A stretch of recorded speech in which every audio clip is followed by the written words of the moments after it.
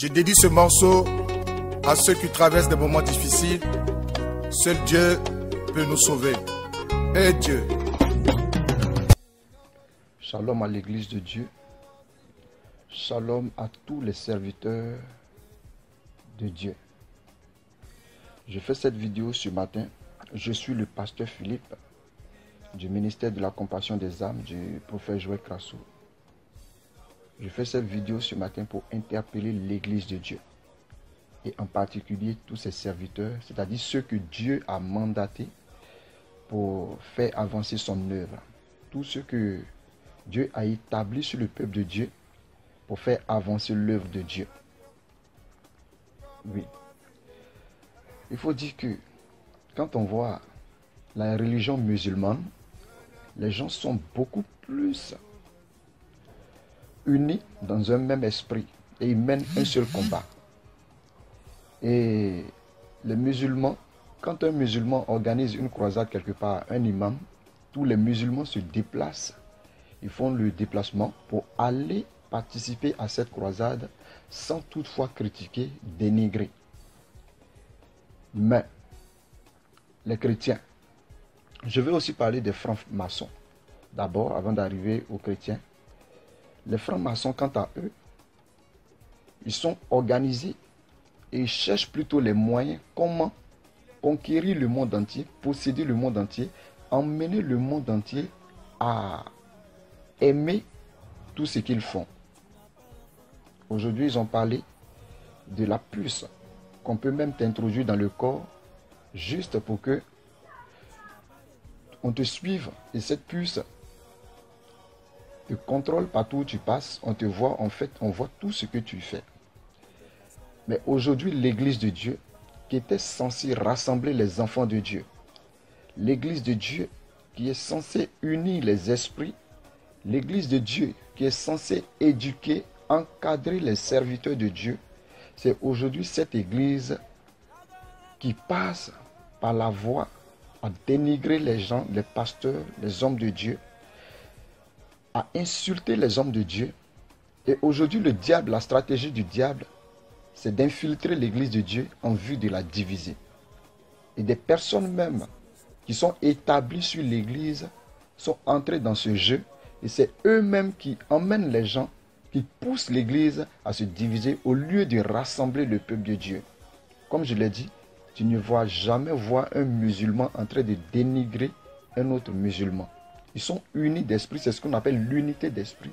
Ils sont unis d'esprit et ils font leur travail, ils obéissent à leur maître qui est Mahomet. Mais les chrétiens, ils sont en même temps en train de diviser l'Église en dénigrant tous les hommes de Dieu. Quand ils voient quelqu'un en train d'émerger, quand ils voient quelqu'un en train de sortir de l'eau, c'est maintenant le temps pour eux de les dénigrer, de les tuer et de détruire toutes, leurs églises. Vraiment, j'interpelle le peuple de Dieu ce matin à travers cette vidéo. Vous critiquez trop, vous parlez trop. L'essentiel n'est pas de parler, l'essentiel n'est pas de dénigrer, mais de gagner des âmes à Jésus. Je vais parler un peu de la sorcellerie.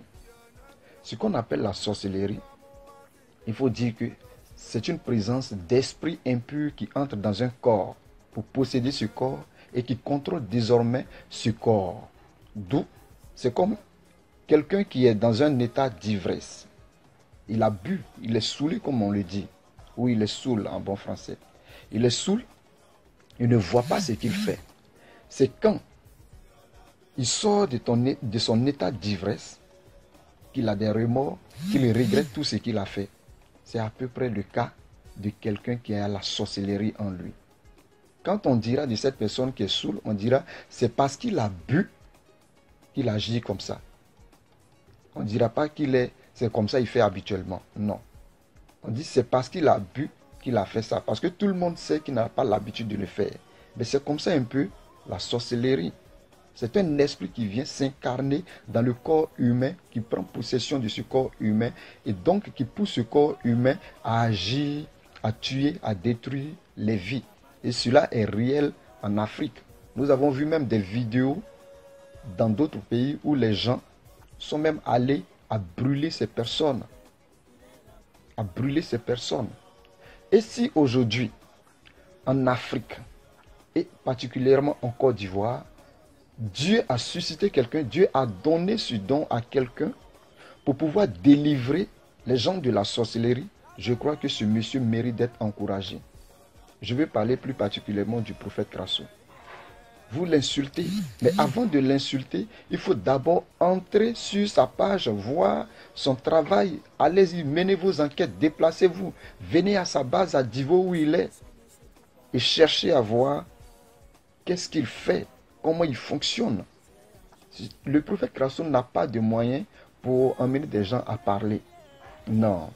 D'ailleurs, même avant que même les personnes ne viennent même dans son centre, certains déjà commençaient déjà à faire les aveux chez eux au village ou chez eux dans leur famille avant de venir le voir pour leur délivrance. Donc lui, il ne fait que, que leur apporter son appui, son soutien par la puissance de Dieu.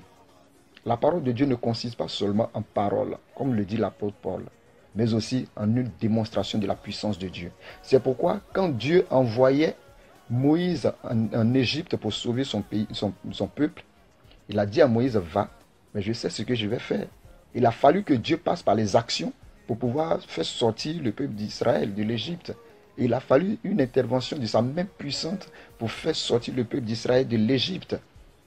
Sinon, si ce n'avait pas été le cas, le peuple d'Israël, Pharaon n'allait jamais laisser le peuple d'Israël sortir de l'Égypte. Vous dénigrez trop au lieu de venir à l'essentiel qui est la parole de Dieu. Vous parlez trop. Vous dénigrez le monsieur. Pourquoi?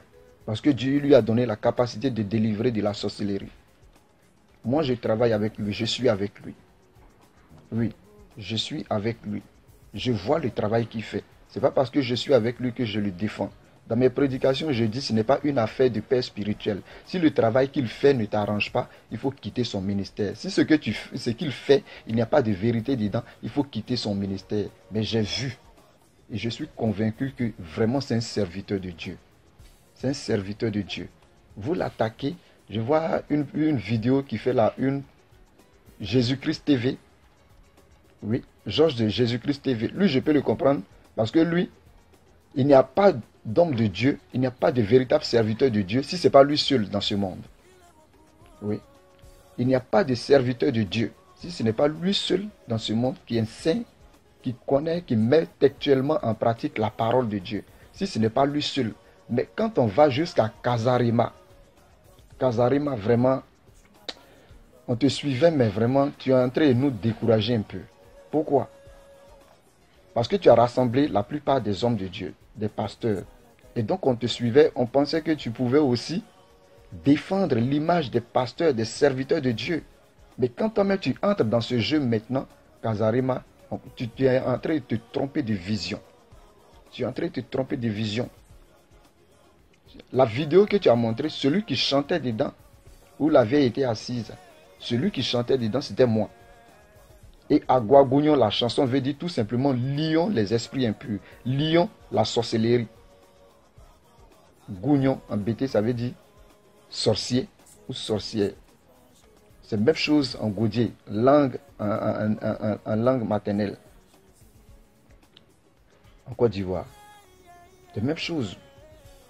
Donc Gougnon ne veut pas dire, ce n'est pas une chanson pour le mysticisme. Ce n'est pas une chanson pour adorer, pour l'idolâtrie. Non. C'était un, moment de louange. L'image que vous avez vue. Ce qu'on appelle le combat spirituel, c'est une confrontation d'esprit.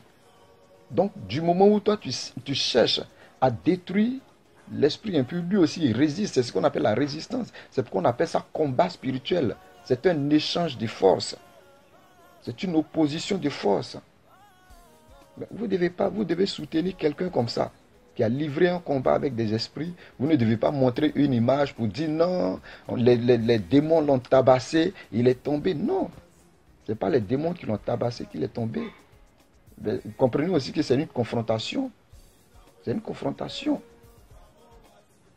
À un moment donné du ministère de Jésus, il a dit non, cette sorte de démon ne sort que par le jeûne et par la prière. Donc ça veut dire qu'il y a plusieurs techniques de combat spirituel. Ce n'est pas seulement feu, feu, feu, feu qui peut délivrer une personne, mais le jeûne peut délivrer une personne aussi. Donc c'est une confrontation d'esprit.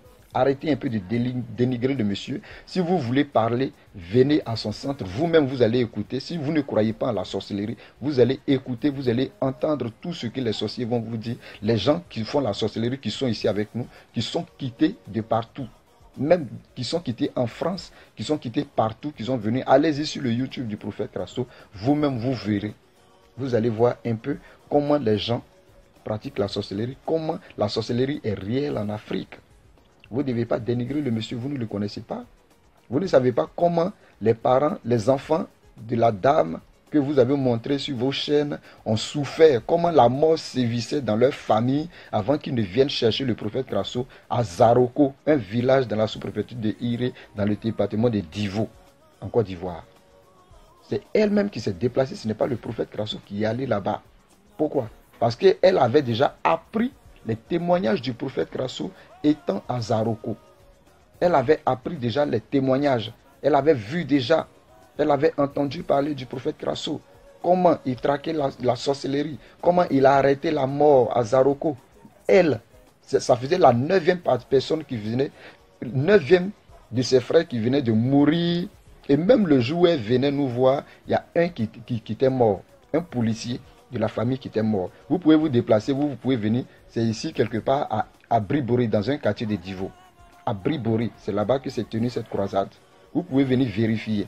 Ça faisait la neuvième personne qui venait de mourir et c'était un policier. Donc elle a dit qu'elle ne pouvait pas rester comme ça. Il fallait qu'elle parte chercher vraiment une solution. Et c'était, en ce moment, on était encore à, Zaroko. Elle est allée rencontrer le prophète Trasso. C'est comme ça que le prophète est venu intervenir. Il fallait mettre fin à ce qui était dans la famille, qui tuait, qui détruisait la famille. Que vous voulez, vous ne voulez pas, les esprits, la sorcellerie existe en Afrique. Les gens vont acquérir des pouvoirs mystiques pour venir tuer, détruire, bloquer la vie des gens. Ne soyez pas, ne restez pas en Europe pour parler, pour dénigrer.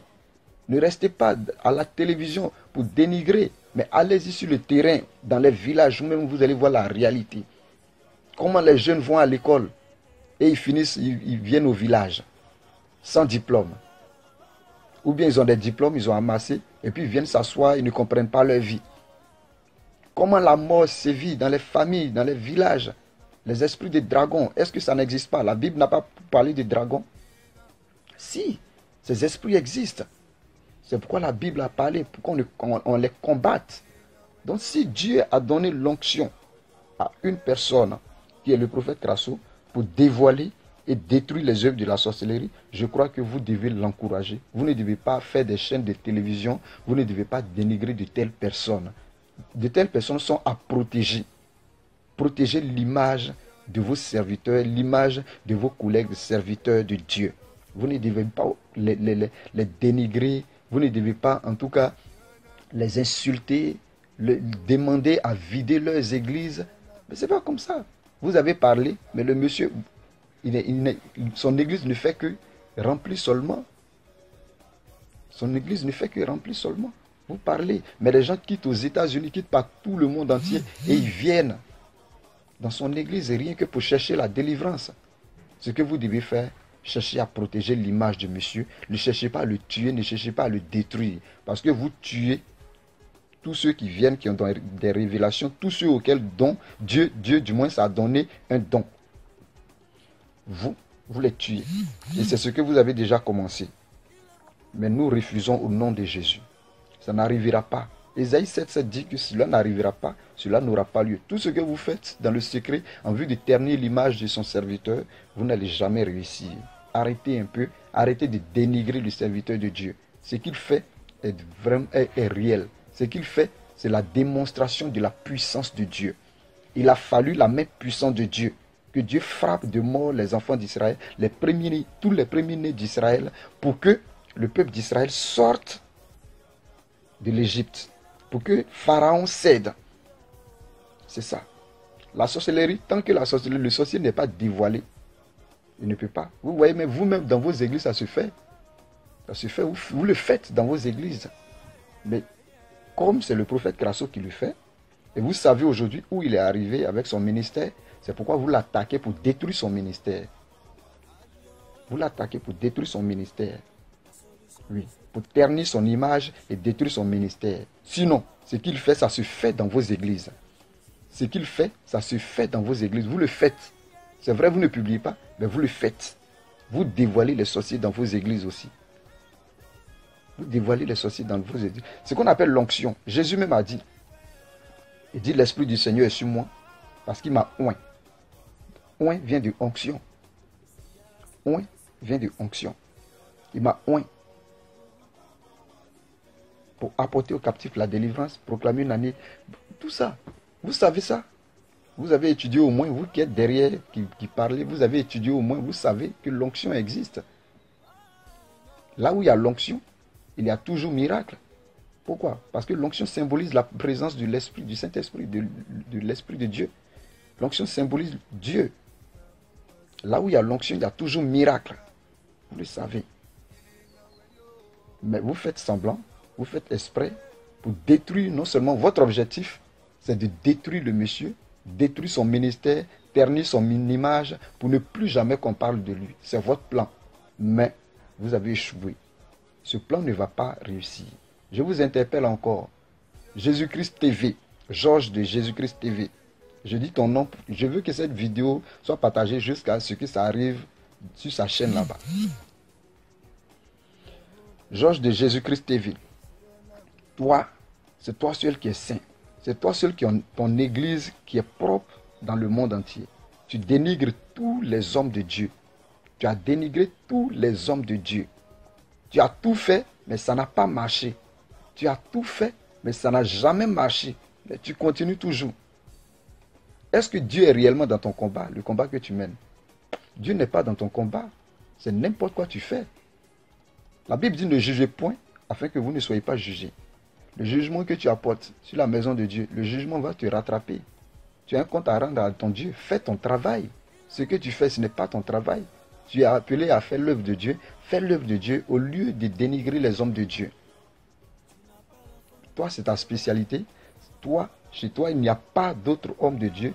Il n'y a pas de vrai si ce n'est pas toi seul et ton église. Mais je dis, tu te trompes de chemin. Kazarima, tu tombes dans le jeu. Vraiment, il faut te ressaisir. Je fais cette vidéo pour vous interpeller. Arrêtez de dénigrer les hommes de Dieu. Arrêtez. Vous avez dénigré tout le monde. Dénigré Bénin, Tibi Joshua. Vous avez dénigré Raoul Wafo. Vous avez dénigré qui encore? Makosu. Tous ces hommes de Dieu. Il n'y a pas de vrai chez vous. Christ, Christ Yakilome et tout le monde. Vous les voyez, tous ceux qui, qui, qui, manifestent l'onction, eux, ils sont des démoniaques, des satanistes. Tous ceux qui font une délivrance, mais à un moment donné du ministère de Jésus, il a craché, il a fait la boue, il a appliqué sur les yeux d'un aveugle pour le guérir, quelqu'un qui est né aveugle. Il a craché à terre, il a fait de la boue, et il a guéri cet aveugle, pour le sortir de cet esprit. Oui. C'était une manière de mettre. Pourquoi il n'a pas dit va. Il a l'autorité sur la parole. Il y a de l'autorité, du moins, dans sa parole. Donc, vous pouvez dire, vois. Vous pouvez dire tout simplement, je t'ouvre les yeux, puis c'est fini. Mais il pose des actions pour libérer chose, un aveugle. Arrêtez un peu. Si vous n'avez pas l'onction, cherchez à avoir l'onction. Si vous n'avez pas l'onction, cherchez à avoir l'onction. Mais les gens aussi qui vous écoutent ne sont pas bêtes. Pourquoi?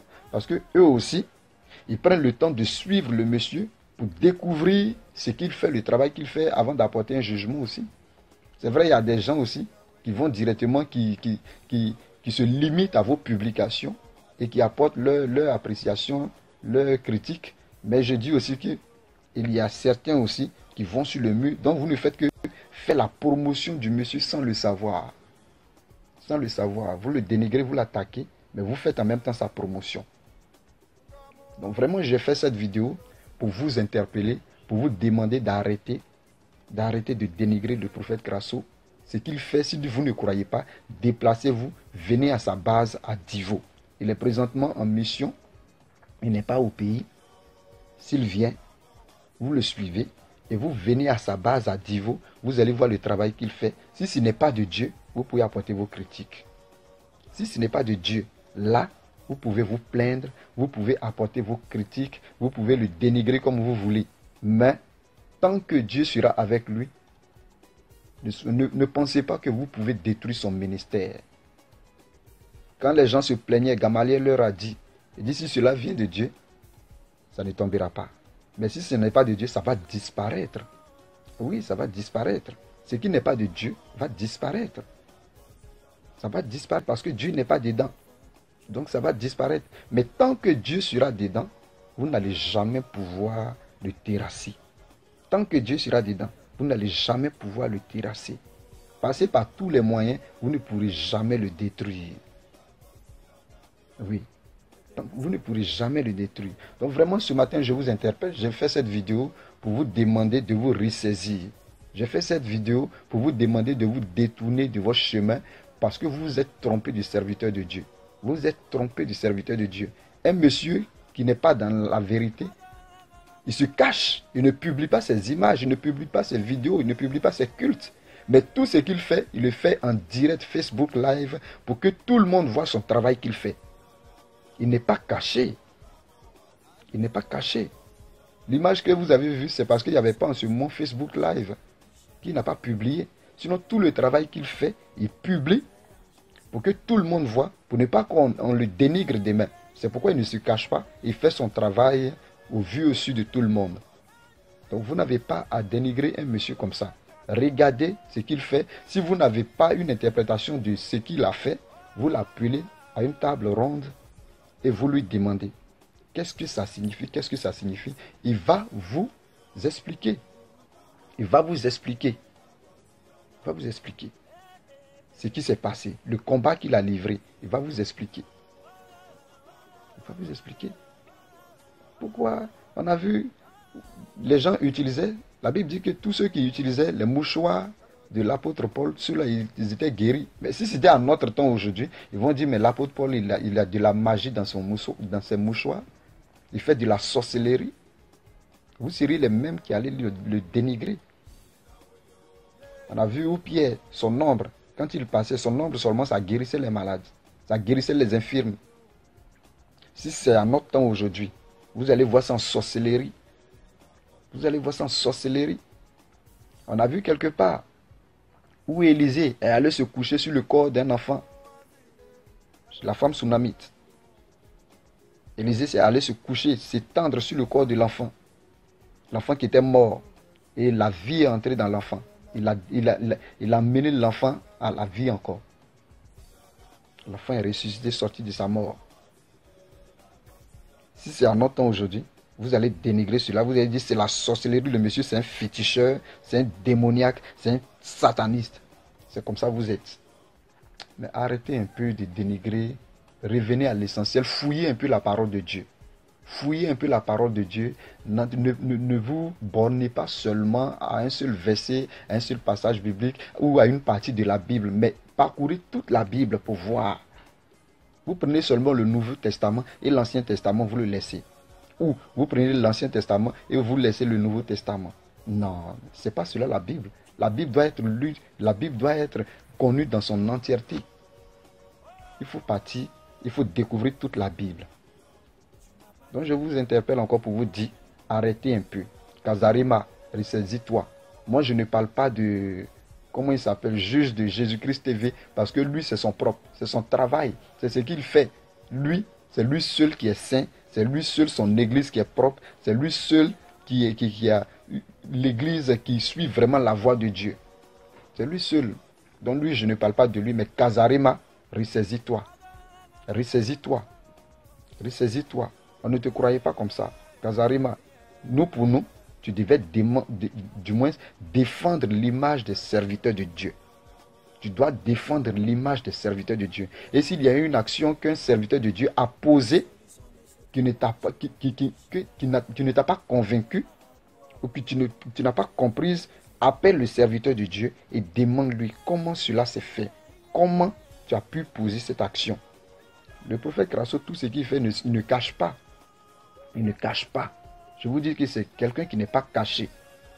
Il ne cache pas tout ce qu'il fait. Il met au vu au-dessus de tout le monde. il publie, il fait Facebook Live. Et à chaque fois que lui-même, il va commencer un programme, il dit toujours comment il a eu son appel.